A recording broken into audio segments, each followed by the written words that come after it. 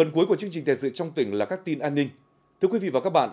sáng nay tại xã Hồ Tùng Mậu, Tòa án Nhân dân huyện Ân Thi tổ chức xét xử lưu động 3 vụ án hình sự về tội tàng trữ trái phép chất ma túy.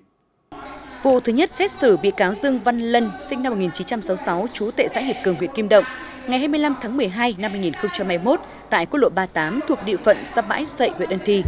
Lân cất giấu trái phép trên người ba gói giấy bạc bên trong có tổng khối lượng 0,417 gam ma túy thì bị bắt quả tang. Vụ thứ hai, xét xử bị cáo Nguyễn Văn Dũng, sinh năm 1964, quê xã Hồ Tùng Mậu, huyện Ân Thi. Ngày 11 tháng 1 năm 2022, tại phố Bùi Thị Cúc, thị trấn Ân Thi, Dũng cất giấu trái phép trên người một gói ma túy loại heroin có tổng khối lượng 0,719 gam ma túy thì bị bắt quả tang. Vụ thứ ba, xét xử bị cáo Phạm Như Huy, sinh năm 1988, quê xã Hồ Tùng Mậu, ngày 17 tháng 12 năm 2021 tại quốc lộ 38 thuộc địa phận xã Tân Phúc, Huy cất giấu trái phép trong người 0,211 gam ma túy loại heroin thì bị công an huyện Ân Thi bắt quả tang và thu toàn bộ vật chứng.